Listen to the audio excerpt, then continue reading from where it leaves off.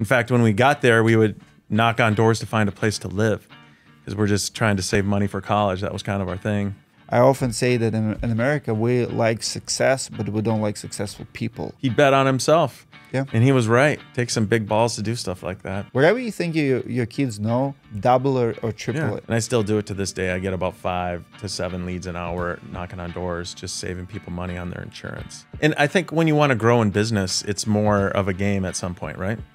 You, you keep score with money. So lo- you blaming lawyers? If they don't see you working, they're not going to want to work hard. They're going to think you're entitled. Do you see a lot of vandalism here? In, in I think there is. I think there's more than anybody wants to admit.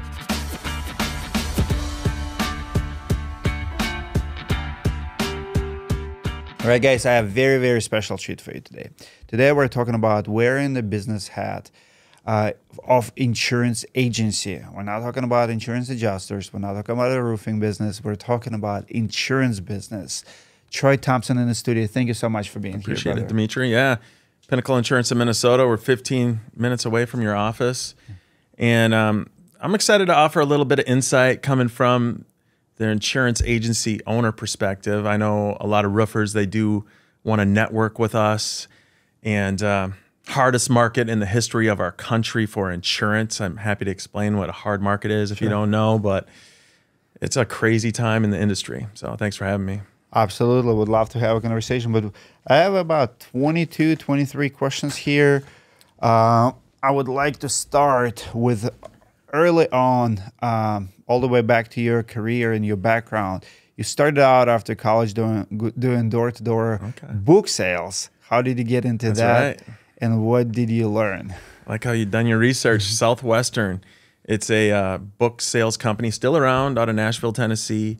They focus on college kids, and you go to a different state for the summer and literally knock on doors selling encyclopedias. Now, that was 25 plus years ago when I did it. I have those guys knocking at my door, Yeah. selling books, selling religious books. Yeah, it's it's not necessarily religious books. It's for um, to help No, kids with yours school. not, but like it's very popular. it's selling tough. books is If you can sell books in 2024, you can do anything, right? And even 25, 30 years ago to sell books, I mean, that's not easy. It's not sexy. We would knock on doors 80 hours a week. 80 hours a week, uh, 7.30 a.m. Monday through Saturday to 9.30 p.m. We'd have meetings on Sunday. We'd go to a state. We didn't know anyone. In fact, when we got there, we would knock on doors to find a place to live because we're just trying to save money for college. That was kind of our thing. wow. And uh, Do you have any stories? I want to hear stories from that time that Yeah. you still think about today. I got a pretty cool story, and uh, this was in Bentonville, Arkansas. My uh, first summer selling books, I was in Bentonville, Arkansas, and um, we know that area is the home of Walmart. So got in with the community, got to learn, got to know a lot of the the people, and um, they said, "Well, have you knocked on Jim and Lynn Walton's door yet?" Okay, this is a company or you know a family at the time. Each child was worth about twenty billion, and that was twenty five plus years ago. I was pretty nervous, but I, I got the the courage to knock on their door. And the, the one of the cool lessons, we know Sam Walton drove around a little beat up Ford pickup truck. This family, Jim and Lynn Walton, with their kids and everything, was in a very modest home worth maybe three hundred thousand dollars at the time Wow. that you could no, not gated, worth twenty billion dollars. I knocked right on the door. Their son answered.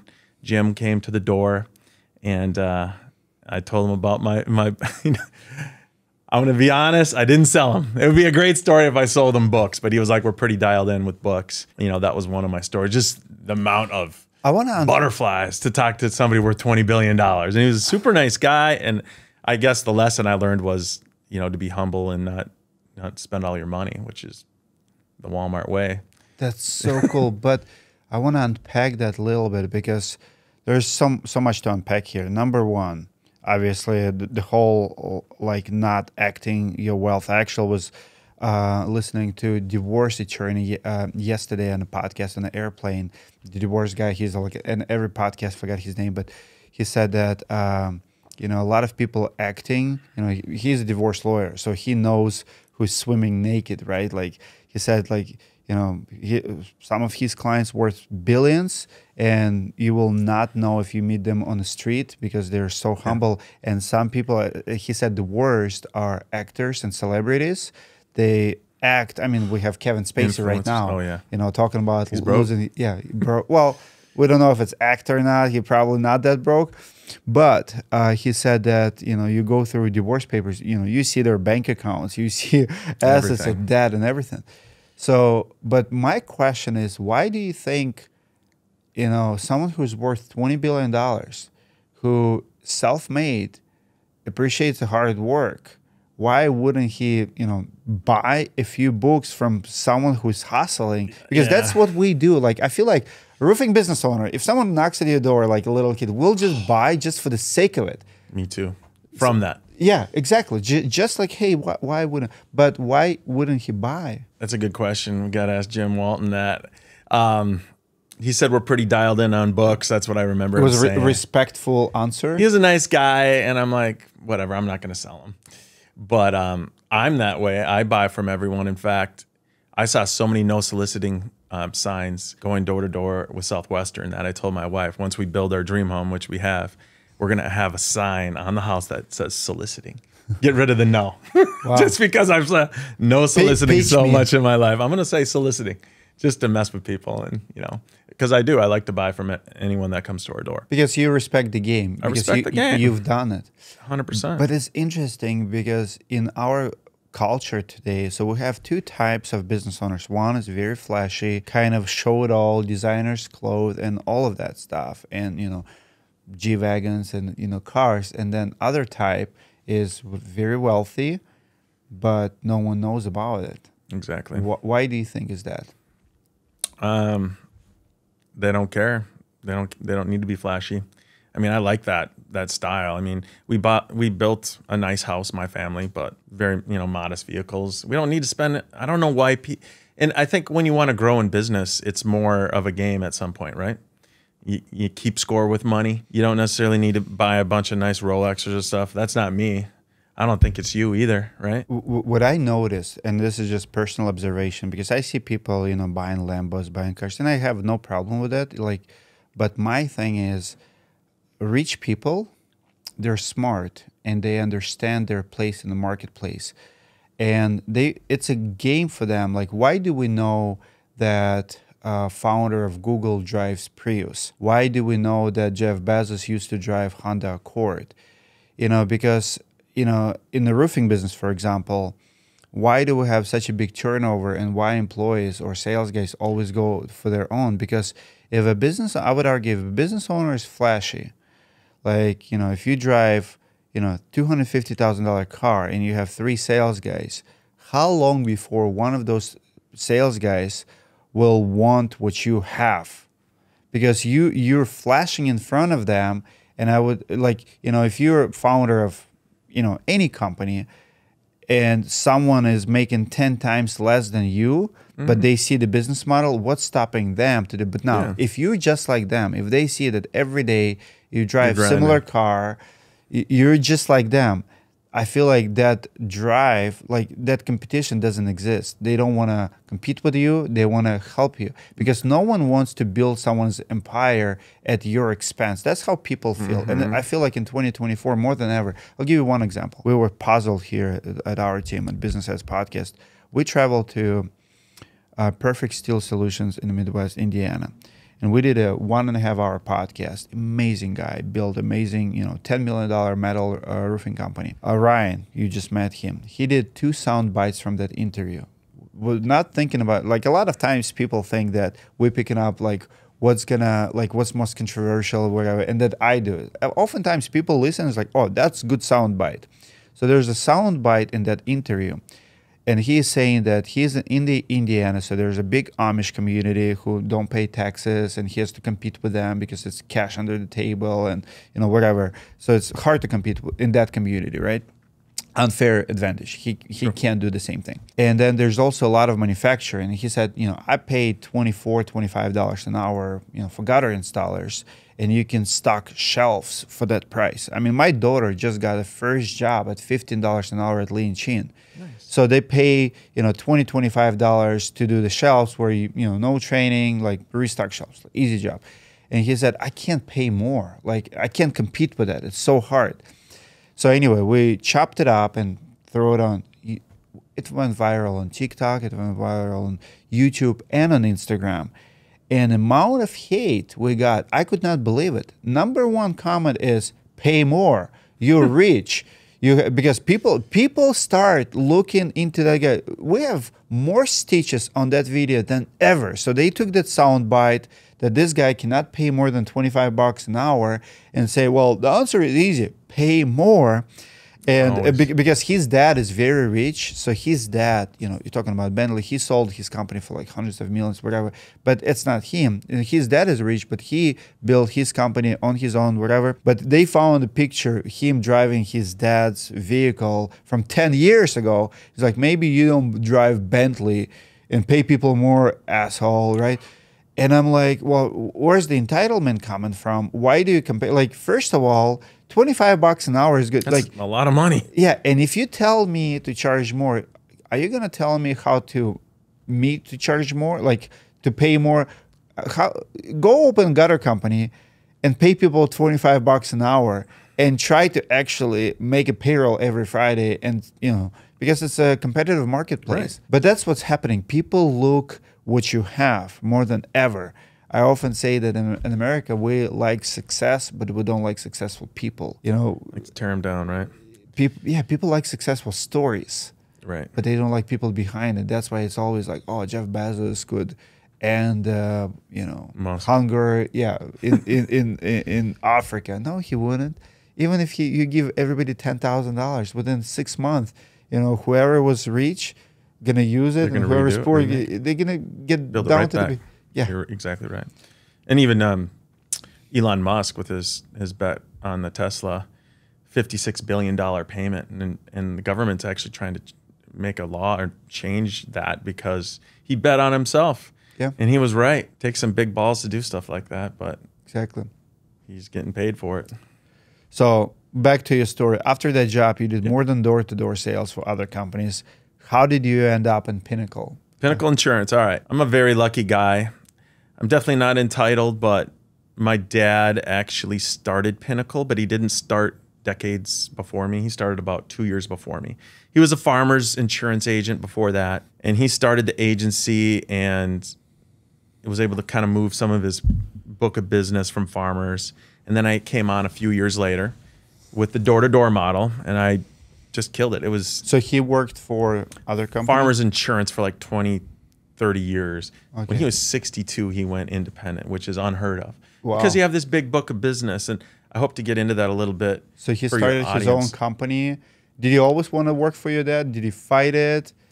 It was, I, I cut my teeth in the real world with other businesses, like um, selling cable door to door and, and stuff like that. But I was ready. And I always knew, hey, the beauty of insurance, especially when he went independent, it's like, I can literally knock on 100% of the doors and know that, you know, I can help the majority of them. So, and save them money because when you're independent, you have the different, you know, the options for people. And I always had that in the back of my mind. And then mm. something happened. I actually got fired and uh, from my one of my prior jobs for doing nothing wrong. But it was the perfect time. I kind of wanted to because I was like, all right, now it's time to go, you know, work for Pinnacle. Mm. Started working. And I think the first day I got and I still do it to this day. I get about five to seven leads an hour knocking on doors, just saving people money on their insurance. Wow. So um, I got into it. I bought my dad out about eight years ago. And again, very lucky that my dad started it because it costs 50 to 100 grand to start an agency. Oh. And I wouldn't have been able to do that without him. Um, but I bought him out, and since then we've tripled the size of our agency. We work very hard. About 3,500 clients, about 14 million in premium a little over two, two and a half, roughly. Only in Minnesota, revenue. or you work other? Just uh, Minnesota and Wisconsin. Minnesota and Wisconsin, awesome. What is the most valuable lesson you learned from working with your dad?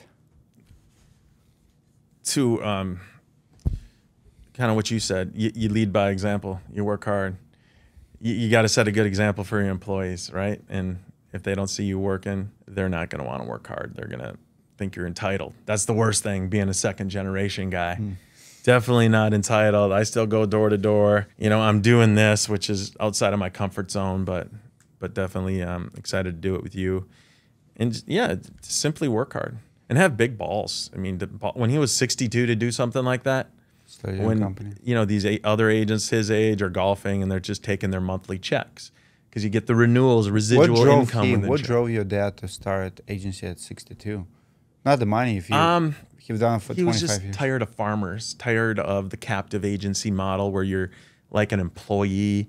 They really have their thumb on you with quotas and changes, and the rates were going up. And he wanted to really take care of his clients better. And when you're independent, you have that ability to move them from a different one carrier to the next, which is a huge selling point of being independent. So, um, yeah, he just didn't think twice and, and went for it. And I'm, I'm very lucky and grateful he did. We still have a great relationship. And sometimes that gets rough with having a business partner as a family member. But thank God we're still really tight. And he comes in the office about three times a week just to drink some coffee and shoot the shit. So. so, people like that don't, don't ever retire. Like, no, he's a bit. Yeah, he's he's got. You have to keep moving. It's funny because yesterday um, I have a, I was in Pennsylvania with Lance Backman, and we have this uh, almost heated debate about selling a roofing business. He said he doesn't agree with me, so I always said that there's two reasons to be in business. One is sell it, another one to pass it to your kids. He's like, I don't agree with it. You should not be selling your business to your kids. Uh, you you should only build it to sell it. And and I agree with it. I see his point clearly because I don't want to push it to my kids. I don't want to even solicit to them. But I also love generational business. I also love when son continues dad's yeah. stuff. I mean, there's there's something about it. There's big, huge corporations out there and where do really well when son takes over dad's empire. Yeah, it can be pretty magical if it's done right. And yeah. one of my friends um, or companies, Asphalt, Erickson Asphalt, I think they've got 15, 20 family members in it, from grandma all the way down to very cool. Yeah, you know, all the kids and grand it's sons. It's amazing, and they have a great relationship. But it gets tricky too with with the family members. So I don't know what I would do with Pinnacle. Potentially let my kids earn it or buy it from me, and never that, giving it to the, anyone. I'm buying my dad's out too. He didn't give me any. I'm paying him a huge check every month still. Wow. but and that, that's the key because that's why they say that you know business usually ruins in the third generation. You're right. Yeah, it's, it's that's true. Like that's freaking numbers. Like it we is. have to do it right. Yeah, so you can't make it easy. You got to make them earn it.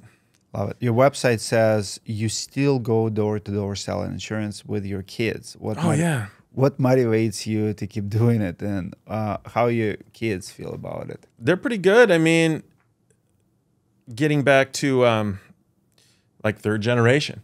If they want to be, you know, I'm kind of anti-college. I'm very anti-college unless you want to be a doctor or a lawyer. And there's so much opportunity in this world, like literally going door to door. Now, my kids are 10 and 11 right now. So a lot of times they just hold the pens, but they're learning slowly yeah. what the business is about through me just busting my butt. And they see all these leads I generate. And at some point, I'm going to turn turn it over to them and say, "You want to go door to door? Get us leads. We're gonna we're gonna put these in your name when you're 18, when you graduate college or graduate high school. Sorry, graduate high school. I want you to be making hundred thousand dollars a year. Wow." And it doesn't so have to it doesn't have to be insurance. I mean they can start a business shoot you know all the trades type businesses like a pressure washing business pool cleaning business. Dog my daughter has a dog poop picking up business she started like this two weeks ago. so cool. Like my kids have the same mentality. People just don't realize how good we have it here. The buying power of people you know you can't do it on the, you just can't do it in other countries like the buying power is not nearly but also also mentality same thing my kid is a 13 and like you know what he did other day like last summer uh, instead of doing like lemonade stands i don't know where he's getting his ideas and stuff but he he went on amazon and bought this um, plastic tubes like uh, very cheap they're a whole bunch of them. Yeah. Then he bu- buys this candy, boils it, and makes like a juice. And then he pours it in this little, um, like like a popsicle. Yeah, Then like freezes it. tube, right? Yeah, Uh-huh. like freezes it. So now you have like 10, 20 of them, like ready to go. It's like it's, it's like a melted candy in a way. So it's it's not very sugary. It's very tasty. And then he goes sells them for like three for two dollars or whatever, like way more than you would sell. Uh, um, Uh, it's cheaper and better and easier to sell than lemonade because you don't have to have a stand. You can just walk with a bucket, Nice, There- and then he'll go th- this is what blew my mind. He said he would not stand ask for people to come. He would find where garage sales are. He goes to the garage sale and offer it everyone at the garage sale and Good comes back with the money. Go to where the people are. It, it, it's insane. It's like who taught you this? And that guy is always his sister, my, uh, two girls. So he is uh, number two, and I have girls number three, number four. They uh, uh, one day they needed quarters for something. It's like, hey Nick, do you have quarters? He's like, sure, six quarters for two dollars. when I heard that, I'm like, who are you? You know, learned from you. Three quarter for a dollar. Like I mean, it's genius. Like he would not change Ruthless. Ruth- Your own family. But but very nice, like very nice guy, very I'll shine the quarters for you. But like, no, you need something from me. It's valuable to you. He six quarters for a dollar. that profit. I'm like, unbelievable, unbelievable. It's great. He's just, in, but he's so smart. He's uh, the most generous kid I know. He always have money, never spends it, knows how to make it, always super creative, and they do it. Our kids, man, do it.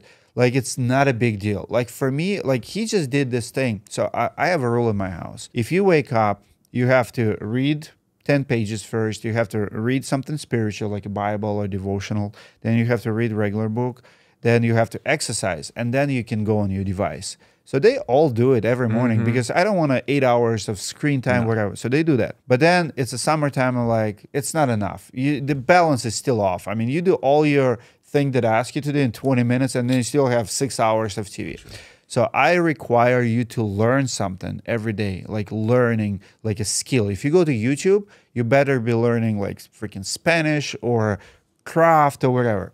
So my son comes to me is like with the iPad, like that. I just did this 3D design for like iPhone holder, uh, like j- just showing you what I did. And he he doesn't brag about it. He's not. He's just he spends 15 seconds showing this thing to me. Just like by the way, I did it. I'm doing what you asked me to do. That's why I'm playing computer game.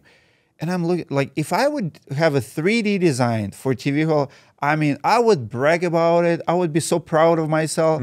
He just did it like on the back, like okay, my dad asked me to do something, and then he goes and prints it, it like at school, whatever, like 3D. And then I see this thing at my house, you know, iPad holder, He like has a 3D printer or whatever. Uh, a- well, he, we have one at home, but he they have a project at the school, so he did it on his free time at school. His he says Nikita, his name on it.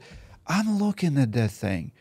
I'm like, I show it to my like. There's a bowl that connects it, like so. There's multiple parts. There's mechanics involved. that he built 100%. Yeah, hundred percent starts to unbelievable, and it's not a big deal for them. So, for, like my message to all the parents out there: load your kids, give them those tasks. Mm. You know, you will be surprised. My daughter does a CrossFit with me. Like my daughters, you know, one does boxing, and she's asking for my 16 year old daughter just told me the other day. So we're listening to podcasts. Uh, I took her to Chicago for the concert, and we're driving back and we listened to CEO of Diaries. There's lady who was in Secret Services, and me and my daughter listened to the podcast, and she loved her two and a half hour podcast. She's like, "Love this woman," and uh, she was the woman was talking about exercise, and she said that like every time she feel down, she'll go for a run. She said that when I don't exercise, and my daughter exercises every single day every single day she has like 15 pounder. Actually she asked me to teach her how to squat how to deadlift. Every single day she goes either on youtube type finds reading so we listen to this podcast and she tells me it's exactly how i feel. This is exactly why i exercise. Every time i'm down or depressed or like i exercise and i feel better. And I'm like, who are, like, if you build that, if you show it, like, and I never ever ask my kids to do it like with me, but I notice every time I go to my garage and I have like fifty thousand dollars set up. I have every machine in the book. There's every time I do it, like I will spend like an hour. I have one kid around me doing the rope, like doing something behind. We we don't talk, but they come out and they get motivated. I have a big TV in the uh, in a garage, and I usually put like CrossFit game motivational video or something. Kids see that, or like a boxing video, and they go and do it. So we have a boxing coach coming to us every Love it. Sunday. Like, dude, we owe it to our kids. You have to not only show them, but give them the task, and you will be surprised how fast they will do it Mm-hmm. the- you know, you know, we underestimate our kids. Wherever you think you, your kids know, double or, or triple Yeah. it. They know way more. High expectations, right? Yeah. Believe in them. Yeah, my son this morning he he shot. Th- he texted me. We just got him an Apple Watch. Not we're anti technology too, by the way, and cell phones. We're gonna pay them ten thousand dollars a piece if they don't have a smartphone until they're eighteen. So we're gonna we but we do want the Apple That's Watch good. so they can text their friends and stuff. But anyway, he texted me this morning. From the phone. Yeah, From the watch. from the watch. This is his first text ever. He's like, Dad, I did three buckets of balls because we're big sports family. Baseballs, three buckets of balls, and shot 333 uh, baskets. nice. You know, So I was like, That's awesome. That's you so know, cool. it's great. By 8 a.m. Love it. What's your best sales tip or trick when you go door to door with your kids or yourself? What do you do now? Like, how do you sell? What's your approach? Hey, um, I'm Troy, Pinnacle Insurance, right down the road. Um, I bet we can save you money on your auto and home insurance. By the way, I'll talk. About, thank you for coming because my wife actually called me yesterday. She's like, not gonna lie, Dmitry, I'm mad right now, and she wasn't like mad picking a fight, but she's like, I just got off of, off the phone with our insurance agent. So perfect timing for this podcast. She did That's not why I came by. so I have a two speeding tickets last year, and my car insurance Dmitry. went up two hundred dollars per month. So I asked her, like per month on top of it, like what year? Yeah, two hundred dollars per month on top of what we've Yeah. been paying. And I have three cars. I'm like, how much? Is your I 16 year old driving? Huh? Uh, not yet. Not yet. She's a, she has a permit. She's driving. She's gonna get it in a couple months. Get ready, man. It's I I know. I know. which is one of the reasons. I mean, auto insurance is a mess. It's almost What's as big going on with auto home. insurance? Why it's such a big mess? Because that's what our agent told us. That the ra- rates are going up, and you know they already were going up because we also were up to for renewal, and they check your record. Mm-hmm. And we asked like, can we shop around for insurance? And he Good said, well, yeah, you- you're gonna go with a five year now, so you have a five year record, not just last year, and you Yeah. might even end up paying more. Um, you know, from roofing, inflation is crazy. Litigious society. People are suing more than ever. Even umbrellas are more and more challenging to get for people because carriers are paying out more money than ever. So lo- you blaming lawyers? I'm blaming lawyers. I'm blaming the cost of vehicles and bumpers and the technology and everything. It's so much more to to uh, To repair? repair Yeah, you have all the sensors. You have Yeah. all. and um, insurance industry in general is in turmoil along with home insurance which i hope we can touch on too Sure. um, hail is a mess you know the you know the state pretty much everybody talks about florida I'll- sometimes even to this day they're like oh the reason rates are going up is because of florida and california you know what i would i would bet to say the entire country is now florida hmm. not as extreme but it's not it is extreme in minnesota trust me Well, usually it starts there. It usually starts in California, Florida, or whatever. Like you know, like the busiest, the most you know advanced states, or the where you will have the most hurricanes. But Yeah. w- what's your take on uh, insurance crisis in Florida? Because for years we've been talking about insurance crisis in Florida, but then such a big debate. You know, seven, eight companies go out of business, but did they really go out of business? Because they still have assets, they still have money. They do, but they're losing money. And I don't I'm not an expert at Florida, but I have a lot of colleagues and friends down there that say it's a mess. The hurricanes and the flooding are the big thing. Sure. And I think Citizens is one of the only So you- which you- is almost you- like a state funded agent or yeah, you don't believe there. it's made up. You like, No, I don't. But these insurance companies aren't stupid either. And there's a reason they have the big buildings in all the cities. So to go real quick to one of the things I wanted to talk about today is um rates the real victims are the homeowners right now Because we're because their the rates are doubling and tripling in the like the last five years. Every single company across the board, and I'll just speak to Minnesota, is going up about 30, 40% a year for the last two, three years. And have people's incomes gone up, you know, double and triple in the last five years? Heck no. So it's gonna be it's gonna be an interesting, it already is an interesting time. Mm. Because people can't afford their their rates. And at my agency, we are dealing every day with probably 10 people calling in saying this is unacceptable. My rates went up $1000 last year and now they're going up $1200 this year. We didn't budget for that and we can reshop them i mean we have some of the best carriers out there but half of them are getting out of the business. They make you bundle. They won't write you unless your roof is within 10 years. They or your house age is 10 years or newer. Um, and uh, if you have any kind of record, any kind of claims, even a zero payout hill claim, and you better Still not have multiple in five years, which pretty much everyone does now.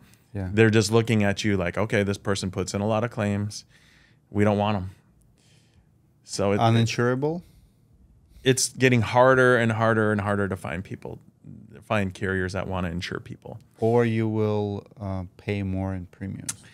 you know, or they just don't want to write you. And that's what's, I mean, carriers are leaving the state. Carriers are just giving declines.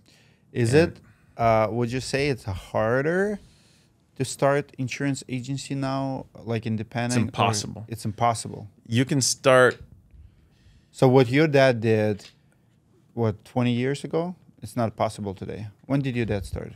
yeah, he went independent about 17 years ago. Seventeen years ago. So So, I've been in a- 2005, 2006. Yeah.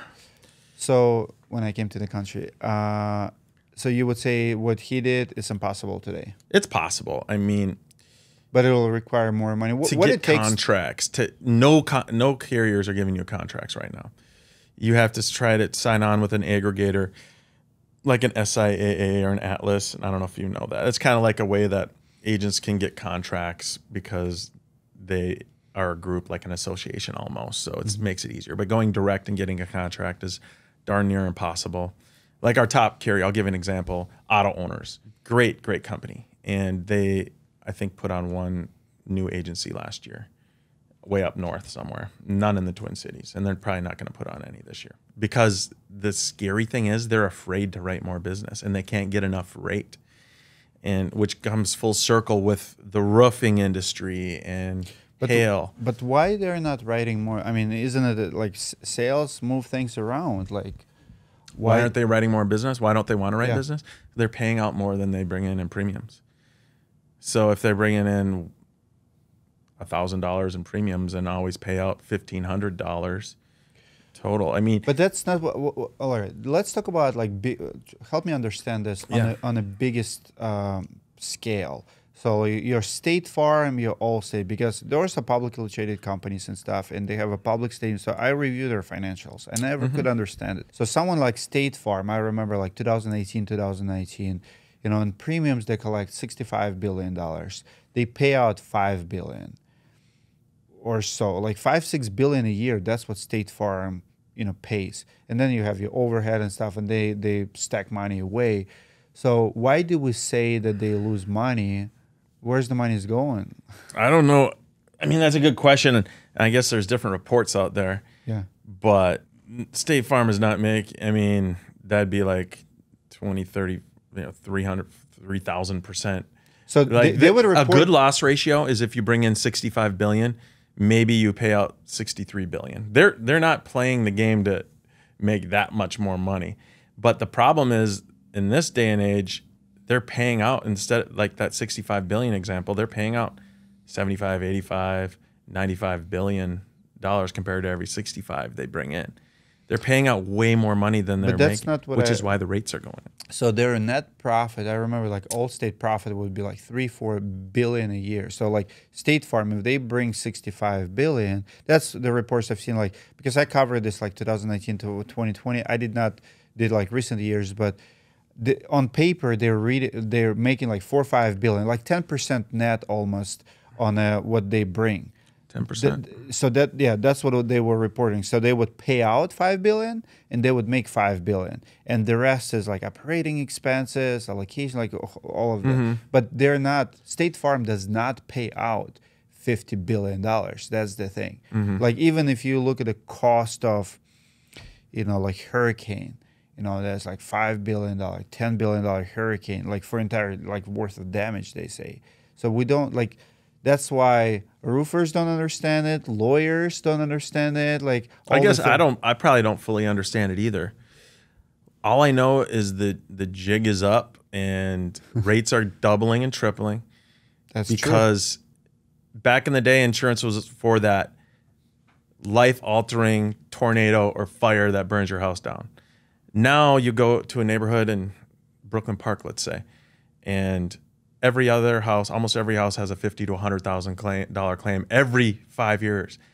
Think think about that. If they're paying two thousand dollars a year in their home premium, how does an insurance company make that make that up? Yeah, but you have so many houses that But almost there are so many houses, but almost everybody in the Twin Cities has had a hail claim recently. And if an average, what is what's an average hail claim? Let's say, Dmitry, 50, you would 20 20,000 maybe. twenty just for the roof. Uh, well, I mean, in Minnesota, I mean, you'll go from 10 to there used to be 2018, 2019 used to be like 10, but everything is, you know, prices went up. yeah. Yeah. So I would say probably roof probably 15,000 and all around maybe like 30 on average. Yeah, thirty. So if your home insurance premium was two thousand, that would be fifteen years of zero claims for the insurance company to break even.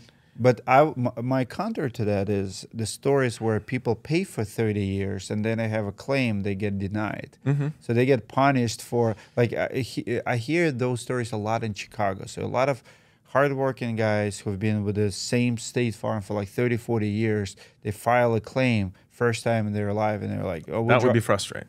Yeah. I have their back too. I see all angles. Yeah. I definitely see that side. I see the roofer side saying, hey, they need to get this money because the insurance company's insuring them for it. I see the homeowner side. I, I pay all this money for insurance. I should get it. My side as an independent agent, I'm kind of on the uh, side of we're getting inundated with, with claims if there is that, that terrible hail claim and we don't get paid extra on it. Nobody's going to feel sorry for me, but I can't sell more insurance if all I'm doing is talking to people with claims problems needing to put in their claim. That's my job though. But we also get hit, and this is good for your your other uh, roofing companies that follow you to know. We get something called contingencies, which are bonuses based on our loss ratios, and it's a lot of money that we could and should be getting, like hundreds and hundreds of thousands of dollars a year, but we almost never get it because of hail right now, and it's not our fault. you know, it's n- I have a question for you. Mm-hmm. Uh, I always been curious why insurance companies are not going after uh, shingle manufacturers because not only about hail, so we have a lot of wind claims, not only in, uh, in Minnesota but all over the country. So shingle manufacturers, you know, put out their promises and their claims, right? Like you know, 130 mile wind warranties, and right, and then 60 mile wind comes through. Yeah. shingles I blown think up for sure go after them. you know why but you never see that claim is a claim act of god whatever and then it and i'm talking about one two year old roofs so it's not something old manufacture uh, uh, insurance companies are huge smart they have money they have legal and all of that why they're not coming after shingle manufacturers I agree with you. That's a great idea. Subrogate. they can pay the claim and then go to the manufacturer. I don't know how that works. You know, I do know some of our carriers are getting more serious too about fraud. I know you talked about that on some of your podcasts when, you know, every time about midsummer when people are like, "Oh, we haven't had a hailstorm yet," and those roofers with their hundred thousand dollar trucks, payments, and do you see a lot of vandalism here in, in I think there is. I think there's more than anybody wants to admit. I think there's billions of dollars of vandalism a year mm. to get roof spot, and you know the carriers they're talking they're they have you know drones now, satellite, even talking about looking for the vandalism more and prosecuting. I, I don't think it's like a pro- it's a problem where people need to go to jail for it. I think it's that big of a problem instead of oh man, we'll slap you on the wrist and say um, don't do it again. I mean, if you're damaging someone's property intentionally, it's a felony. You should go to jail. But no, but it doesn't really go that far. And I'm not saying every there's great companies out there. I know a lot of great companies here in Minnesota that would never think about doing that. But I think there's a lot that do too. There, there's something happening to society. I can't explain it. I cannot understand it. I refuse to understand it. I was in Greensboro, South Carolina, two weeks ago, and we're checking out at Lowe's, uh, you know, checkout, and this, you know, man checking us out, and he was something came up with about theft, like, and I asked him a question like, how how how big is the theft here? He's like, oh, every day. So someone just stole something. And he said, are you gonna call the police? He's like, nope. I'm like, why not? And he said, well, we know them. Like, and here's what he told me, the Lowe's guy. He said, we are waiting for the, like, so they're documenting it. They see the cameras. He said it happens every freaking day. I mean, if you look at like a, a like you know Walmart theft. They'll have like three million dollars a year worth of theft. I mean, think about that number. But here's Three what, million? yeah, like per store, Okay. yeah. per store. Like you run a small store like Walmart, it's insane. Mm-hmm. You can't call police. But this guy tells me this. He said, um, "We have, we know who they are. We know what they do. We are waiting." For the number to go up, so we can lock them. Uh, they're Be- creating like a file on them. You've stole the. exactly. So they, they- every time, so the the people coming in, they're stealing like your nails, your whatever. But there's cameras everywhere. So if you steal, let's say, hundred bucks, and you call the police, you're not gonna get much because there's a. I think he told me it's, it has to pass like either three thousand dollars. There's a minimum. So if below that uh, uh, number is this, but after that, that's a felony. That's a jail time. What's not?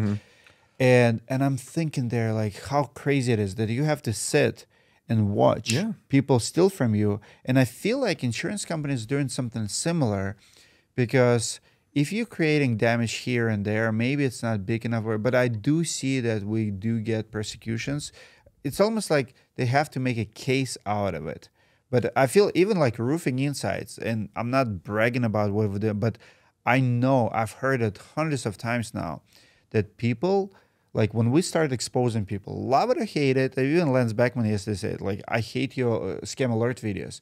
But you know, even my close friends told me, Adam Sand, my close buddy from Canada, he said, Dmitry, you know, I always think in everything I do, like it, it kind of became a thing. Like, would Dmitry cover me? Like what people would Dmitry do? Yeah would Dmitry call me out on this? Would Dmitry That's make a, good- video about Yeah, it because people are conscious now because now you have a media that can make episode about you. And youtube is huge. Like you don't want people to google your name and have a youtube video exposing you because you're done. At that point you are done. You can't scam people anymore. And i mm-hmm. would argue that youtube and media in general is more powerful than even a court system. That's why you know scammers, big people like I'm a, tomorrow. I'm doing the news on this guy, and I'm telling you, he's not gonna do what he's been doing. He's not gonna be happy? Yeah, no. so he's uh so the guy filed bankruptcy, and he's a coach now. And actually, I don't even pick those stories. My team does. They look around, and he's he still have victims today. He's a homeowners who he needs to refund money and stuff, but he's going and teaching how to be successful contractor, how to manage debt, and how to be careful with debt. But borrowing went money is good. Exactly. So he's giving financial advice, and I'm like I'm just putting him in a bit like, hey guys, this guy's you know teaching. Here's his class. Here's the post. Right now, he's selling course. But here's what's happening. He filed bankruptcy and he's in the local news. But again, even in local news, it's not as powerful as YouTube because people are not going to find local news one year from now. But YouTube with the search power, it never goes away. And if- Beautiful. yeah. And I feel like It's like going to the fat personal trainer. Yeah. Why are you gonna do that? exactly. but the thing is, um, insurance companies are making examples of few roofers here and there, and I feel like when you do that, now others will be afraid because Yeah. now that's a precedent. Like, oh, I don't want to be that guy because your career is ruined, and why? it is. It should be ruined at least. I agree. Theft. But it, w- d- w- but why? Why do you think we have? I mean, we started this conversation with how great the country is, how easy it is to make money. Our kids are hustling, making money now. Uh, Dan Young told me, called me last week, said he has a kid, you know, 16, 17 year old. Said about to buy his first house. You know, he'd been saving money. 16. See, i- Good for him. imagine that. Like, mm-hmm. imagine opportunities we have in this country where, you know, your goal is your kid to have hundred thousand dollars when they graduate school. That guy boy, boy is buying his first house. I mean, my kids now, like my 11 year old daughter, I took her to the Five Below other day. She brought her wallet, and I'm like, "What do you have there?" There's like four, or five hundred bucks. I mean, I came to this country. I have two hundred dollars to my name. Yeah. My 11 year old daughter has four hundred dollars, and she's not spending it. I'm like, "Where do you get this from?" She's like, "Birthdays." She's hustling, right? She's She- saving yeah, it. like grandma, grand, like hundred dollars each birthday. She's not spending it. Mm-hmm. I'm like, wow. But and but then you have roofers, you have other people who just have to steal. You have to go to Walmart, you have to go to Lowe's, and steal a gun, steal a tool. Ridiculous. Like, Take advantage of the country. I mean, we're in the best country in the world, do, right? do you feel like our uh, our um, system is broken? How we punish? Because we also have more people in jail than any other country on earth. We have more jails, more people in jail.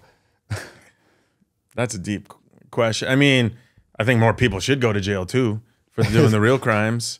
But I thought marijuana was a stupid. I mean, I'm glad we're trying to get people out of jail for that. I think Yeah. that should be legal. It's basically legal now. Yeah. But are you telling me people that sh- basically shoot people and some people are getting out on bond for ridiculous crimes right now? I think that's a big problem as well. You, you, you know, the deepest thing I've heard on, on this topic is, and it's very, very sad. I was watching American Greed actually, about an episode on uh, WeWork. I watched that too. I, one of my favorite shows, American. Yeah, yeah I love it. That guy was a whack job, but yeah, brilliant. the lady who worked for him, she said Yeah. a phrase and it stuck with me. She said, CEOs get away with everything. In this country, like if you're a CEO of a big organization, most likely you're gonna get away. Like how many CEOs? I that guy, WeWork. He scammed you know people for billions. If you think about it, he's a billionaire living in Still. Miami, still not prosecuted. A lot of people got He's screwed. like a cult leader. Yeah, and I mean, someone lost million. Like the his investor, like the Japanese guy, Yep. lost five billion dollars, and this guy became a billionaire, and he lives in Miami. Gotta love this country. You gotta love this country, but we also have to prosecute. But I, I, what I also like, like in my country where I come from, and I would argue there's a lot of countries around the world like that. You know, you go to Russia, if you're a billionaire, it's almost guaranteed you'll never see the jail time unless you really do something against like Putin and whatever. But billionaires, you know, we have tons of cases. What I love about this country, it's it's not perfect. There's a lot of stuff, but it doesn't matter how much money you have. If you drink and drive and you hit someone on the road, right? You go into jail. Like your billions not gonna buy you out mm-hmm. of like if you kill a person and there's a witness or there's whatever. I mean, of course, there's gonna be you can hire lawyers and stuff, but you're gonna see the jail time. In Russia, if you like top like any position, if you're mayor of the city, and, and we have tons of those cases because everybody's drinking and driving, right? So many cases, you drink and drive, they'll have it on camera, they'll have witnesses. If you're mayor of the city and you're in Putin's party, you're not seeing jail time. You're untouchable. There's so many untouchables. They will have. Uh, we have one case in Moscow. It was actually very loud. Big accident in the middle of of Moscow, head on. Very famous doctor here and like uh, executive of oil company here driving, hit. She dies. Doctor dies. This guy opens the door, goes in the back.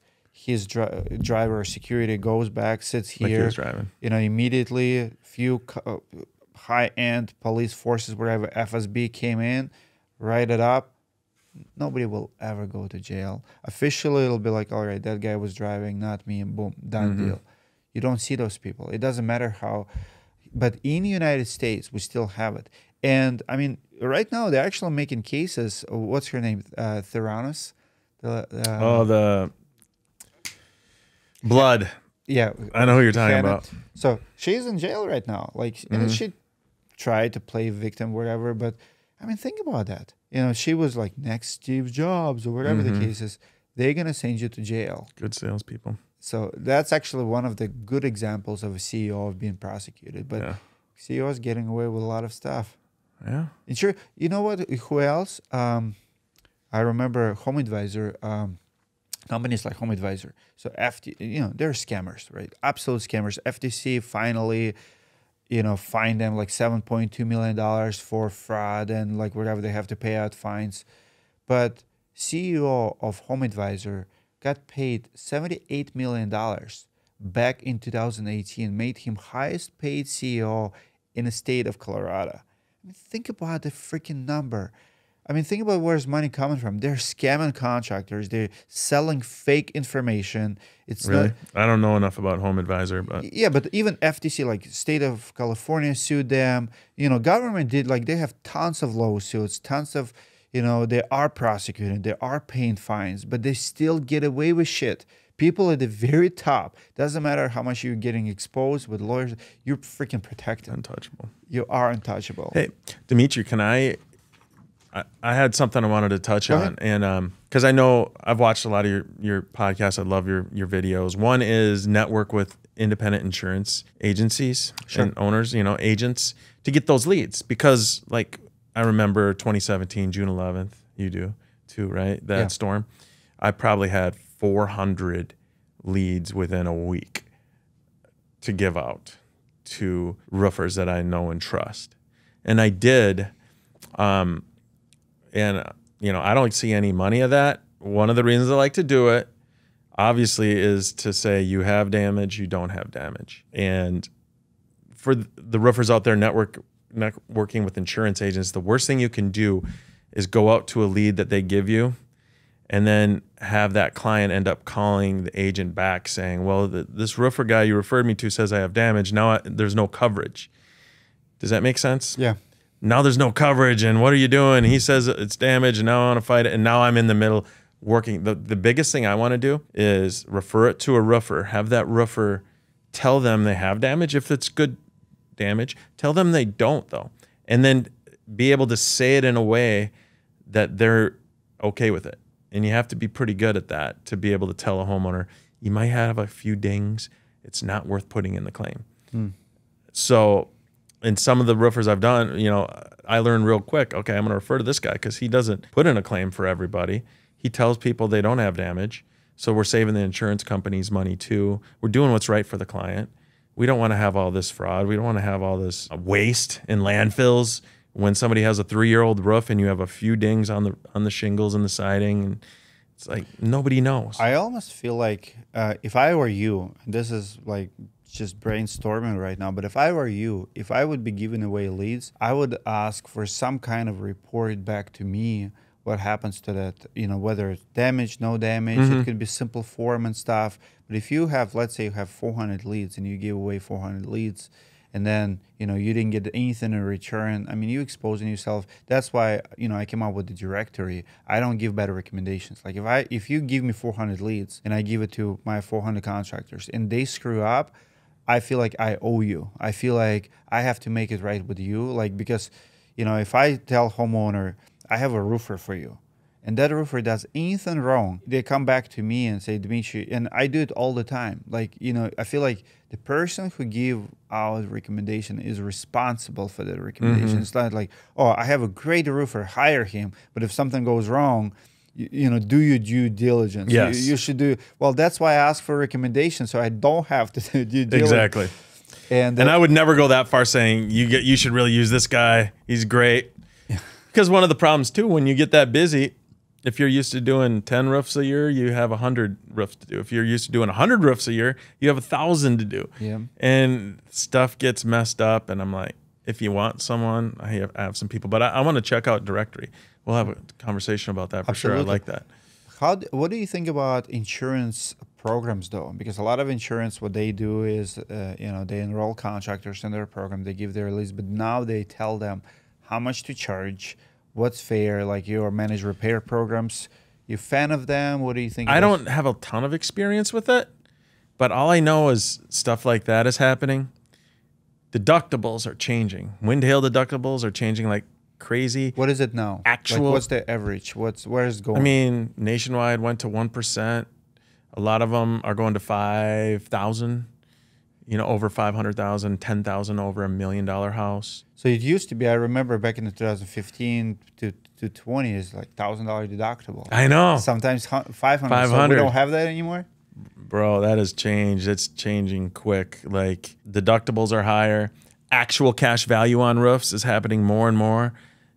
State Farm is going to an endorsement where you have to pay 10% roughly on your over and above your premium you paid this year when you renew just to have an endorsement to um, pay for undamaged parts of the roof or whatever. I don't know what ex- how exactly it works, but everyone's changing and it's changing quick along with the higher premiums. Actual cash value roofs meaning if your roof is only has if it's a 25 year roof and you have 12 years left they're going to pay you half of what that roof's worth.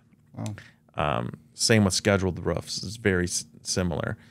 So things like that and like like you said the preferred vendors i haven't really encountered that how that works but um, everything's changing and have you seen on your end with how claims are handled, like not getting paid out as much, higher deductibles? Is that Yeah, I, I feel well. I travel all over the country, so I go to you know your Arizona's, your you know both coasts like New York, Texas. Every market is different, but changes are everywhere. You're right. Like it starts at California, it starts at Florida, but then and I don't know the driving force here. I feel like there's uh, after COVID.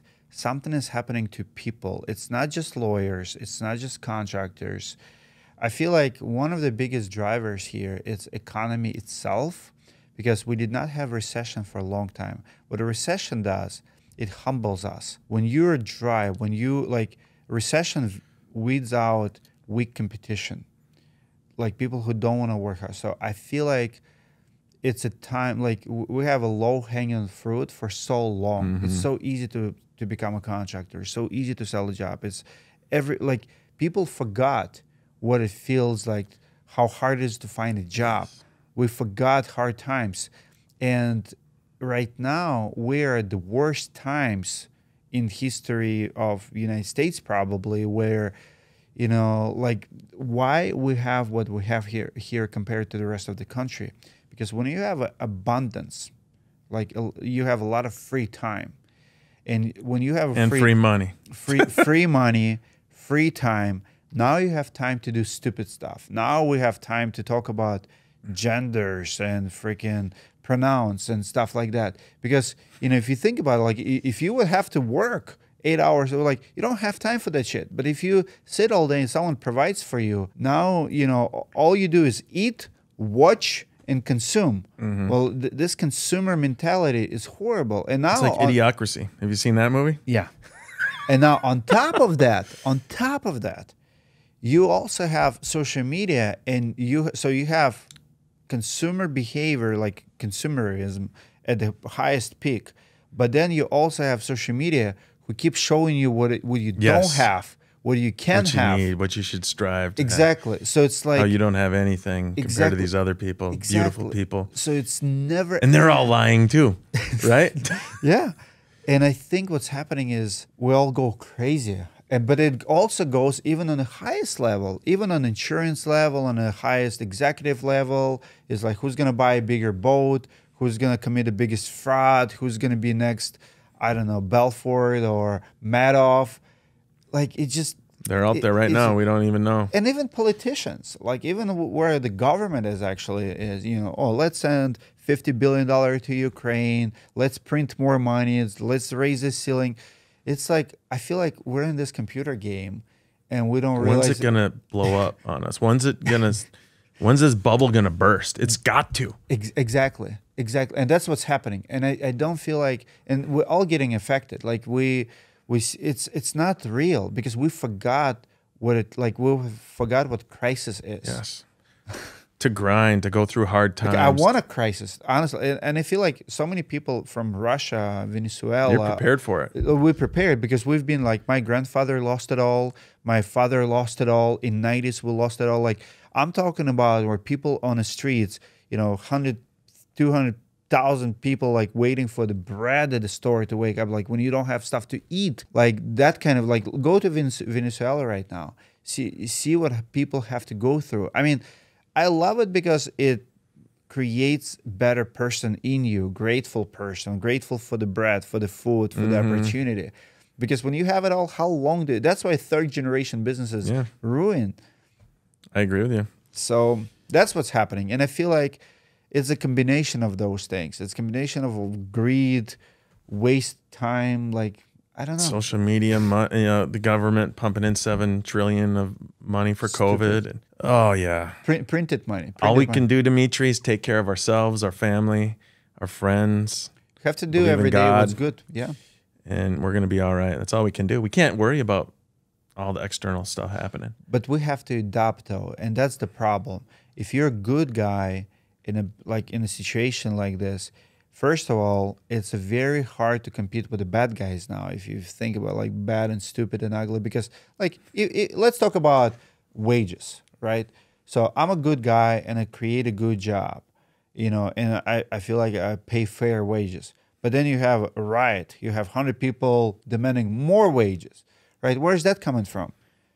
Yeah, You- you know, like and you want to make a profit. yeah, you want to make a profit. The owners of the companies can and- literally go broke paying their Yeah, employees but- the and you minimum wage. adapt. So even if you do everything right and you grind, now you have to adapt to stupid behaviors and expectations and entitlements of other people who are not willing to work hard, not willing to do what you do, but they're telling you how to run What your to do. business and they demand something from you.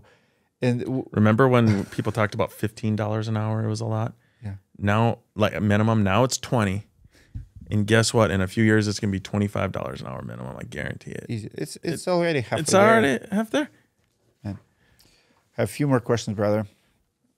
In your industry, I'm guessing you see a lot of people in their worst moments. They might have have their property damaged, have loved one passed away. How do you stay motivated as a po- and positive as a leader? Do you do you deal a lot with the losses, or it's not part of You your know, business? I have a good story for that. I had, we had a total loss fire. Um, it was probably 2018 New Year's Day, and the person had AAA, and somehow through some phone calls, my phone rang. You know, I wasn't drinking. I don't drink. And so I got up at like six in the morning on New Year's Day and uh, went into the office. This guy um, had been drinking and lighting off fireworks.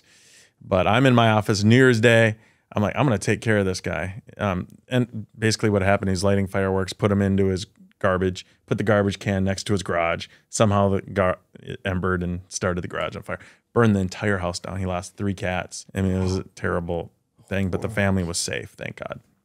But that's what we, you know, like I mentioned earlier, you have insurance for the life altering, life changing, terrible moments. And you're there, met with him for coffee, got him some money to find a place to live, and got a hold of the, I couldn't even get a hold of a person to put the claim in because it was New Year's Day. Everybody had time off, and, uh, you know, it was just a terrible time to burn your house down. but anyway, um, yeah, I mean that motivates me to help those people in their their greatest times of loss. And kind of going back to like a hail claim, one of the carrier reps said this: Imagine if we all self-insured and hail, let's say nickel size hail hits your house and a few dings on the roof, siding, gutters. Um, are you gonna write a check for one hundred and fifty thousand dollars in windows, you know, to replace everything if you have a few dings on your house? No. but that's where we are right now where there's there's hail all of a sudden a door-to-door guy comes by okay you might have $20000 roof then it turns into the windows the siding the overhead and profit let's get the public adjusters involved let's and then the neighbors get you know the uh, neighboritis where they need to do the same thing anyway that's another side of it, which is frustrating for me and frustrating for everybody in the in the industry. But uh, the motivation is definitely there to help people at their their greatest times. The life changing, even auto. I mean, we sell umbrellas. We've had one person use their umbrella, maybe two in 15 years. But if you have that terrible accident where you kill a doctor or something at an intersection, and you're gonna wish you had that umbrella 100% of the time. It's 200 bucks a year. You'll probably never use it and you hope not to use it. But when you do, that's the life changing stuff because you kill that doctor, they're going to garnish your wages of 30% for the rest of your life because you're probably not going to have a few million dollars in the bank to write a check for the what your liable accident that you caused. So that's that's definitely what mo- motivates us and keeps us going. Can you share the biggest mistake you have made as a leader or in this journey? Ooh, that's a good question. Um, come on, Dmitry. Think about it. Take your time. Um, I think we all. This is a, a mistake. I could do it. Just the day to day, getting involved in the day to day tasks. I should do what I'm good at. The biggest thing I can do is get leads for my company. We have three salespeople. I could go out today and get 20 leads in a few hours. Why won't I do it? There's nothing more valuable than giving them 20 more leads today, where we could probably sell half of them. Um, but I'll go back to the office and check some emails and talk to the team and you know so i would say the mistake is just not focusing on the the massive revenue generating activities that that all of us as business owners should be focused on Love it. Just like uh, I'm reading and got hooked on Dan Martell, Buy Back Your Time. oh yeah i got that book This love is it like the main thing. that's right Love it. What's the biggest misconception people have all uh, about insurance salespeople, and how would you debunk it? Not it's easy. It's no business is easy. Sure, we get renewal income, but my team is slammed every day. A lot of it with the rate increases with this hard market. And myself, I mean, I'm getting inundated with customers too that I know personally that are calling me, "Why did my rate go up 3 times in 2 years?" And and you have to you have to just tell them, "Hey, it's the market. I'm sorry." But um, what was the question? What's the hardest part? It was the biggest misconception people Misconce- have yeah. about insurance pe- salespeople? Like me, for example, as an agency owner, that all I have to do is go play golf all day. You know, that's not my goal. You know, I do have a gut. I'm not as in shape as you, but you're pretty. but you know, I'm not. We're not the typical agents. I mean, some of them are. Some agents don't want to grow. I believe if you're green, you're growing. If you're ripe, you're rotten. We put all our money back into the business. We're not trying to plateau and keep as much as we can. You know, so nobody's getting rich. We're just trying to grow our company and and scale and get bigger and bigger. And we we follow EOS um, traction. Yeah, you're probably yeah. familiar with that. So we have some huge huge goals where we want to triple the size of our company within 10 years, which would be a lot of, you know, good for everyone. If you could change one thing about insurance industry, what would it be and why? Get technology. I mean, this is a boring answer. Make technology easier. A lot of the carriers, they're they're not they're built on old old DOS type platforms. So you can't zap, you can't integrate, you can't use technology like like some of the newer you know CRMs and and and whatnot that are out there. So I would just make everything talk, be able to talk to each other. Everything more seamless mm. would be would be nice for our industry. Last question for you. What's the one fact everyone needs to know about insurance? And why? You you want to use your insurance for the big losses and just take a long hard look the next time hail hits your house. And know that the the door to door guys are going to come out there. And I have nothing against that. I'm a door to door guy too. There's legitimate hail. People should be taken care of. But just think, like I said earlier, if I was self insuring and I had a few dings on my turtle vent, I'm like, am I going to pay a hundred grand to replace everything here and go through weeks and weeks of people on my roof and permits and banging and, or am I probably going to have another hailstorm in a few years anyway? And do I really want to waste all this stuff and and go through this process? And by the way, I've seen my rates jacking up like crazy, and there might be a correlation here as to why this is happening in the industry. So just think think hard. Go with a good local guy. Go with a good team like Directorii that vets their people and stands behind them for sure. Is another one. Since you said it, I I did not plan it, but I want to. I want you to react. I was just thinking. I have a perfect example of, uh, and I'm just curious what you think about this. So this is a, a a roofer.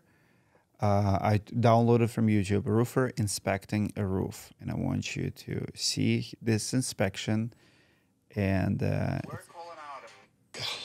one minute. Everyone thinks a one or two year old roof or even five year old roof, when they look at it and they don't see hell, that they should walk, away and say no damage. Well, Mike found two hits. He asked me to come out here and find more damage. So sometimes you got to get on your hands and knees and you literally got to look for these smaller spots. Here, of course, the hail's been knocked off. A lot of times it's like, don't count the ones at the bottom. Well, count everywhere that hail has impacted and ask questions later. You're not a fucking scientist. You're a roofer. If it's a black mark, if it resembles hail, is it close or is it something else? Who fucking cares? Circle it. Take a picture. Um, now, my experience in 20 years is throw shit up against the wall and see what sticks. This roof is legitimately damaged, but I gotta get more circles. I gotta show the damage. So what do I do? Okay, I see it right here. What do I do?